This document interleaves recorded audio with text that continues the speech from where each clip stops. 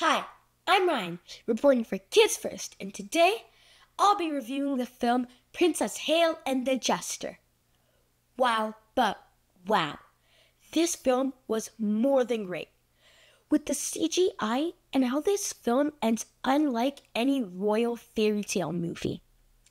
The storyline goes by a kingdom who gets attacked by an army of goblins, and the king, Byron Herlong, gets turned into stone and the young Princess Halle, Emma Duchesneau, runs away with the jester, Henri Duncan Novak. And he brings her to his hometown.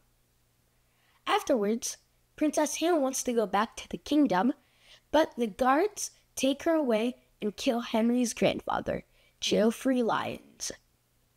Afterwards, they fight the evil queen Priscilla, Rachel Stacy. But while watching this film, I found a little bug that kind of annoyed me. When they were fighting Prince Princella's, uh, Princella's castle, Princella pushed Princess Halle onto a wall and she fell in pain, but there was no sound. That was just weird and it kind of bugged me. I didn't know what happened there. The message is that not all royal fairy tale movies end with a happy royal marriage, just like this one.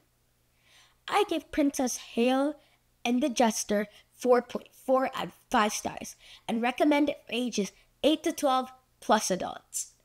This film would be streaming on VOD May 21, 2024. I'm Ryan McKenzie, reporting for Kids First. Thanks for watching. Make sure to like and subscribe to our channel so you don't miss any of my next reviews or those of my team members. Catch you next time!